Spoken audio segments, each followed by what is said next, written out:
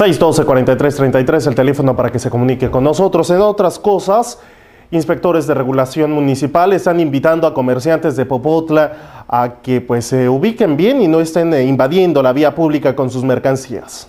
Sí, mira, este, iniciamos desde lo que es la entrada del Boulevard Popotla, desde el INPM, vamos a agarrar hasta los estudios Fox, vamos a dar toda la vuelta al Boulevard, andamos ahorita en conjunto con, con todo el urbano, este, invitando a todos los comerciantes del Boulevard para que las mercancías que tienen en exhibición que están ocupando vía pública, pues las metan lo que es dentro de, su límite de propiedad y no estén obstruyendo lo que es el paso peatonal, la invasión de vía pública.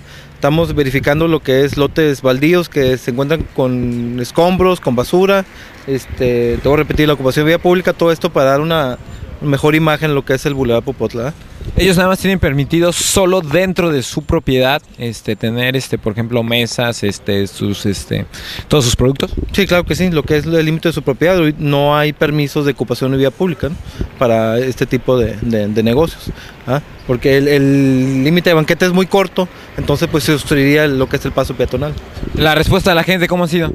No, muy, muy buena, muy buena. Este, pues todos han comentado pues que se que todos parejos, que no nomás a ellos pero se le está dando conocimiento de que a todos los comercios se le está diciendo lo mismo, y pues lo está aceptando muy bien ahí la, invitación. Ahorita estamos invitándolos, no estamos sancionando.